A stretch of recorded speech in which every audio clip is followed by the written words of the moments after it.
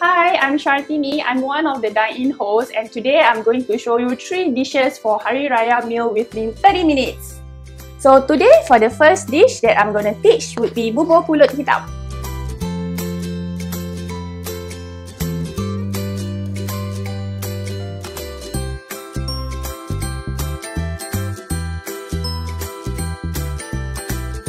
While waiting for the bubur pulut hitam to simmer, we will do next with the prawn rendang.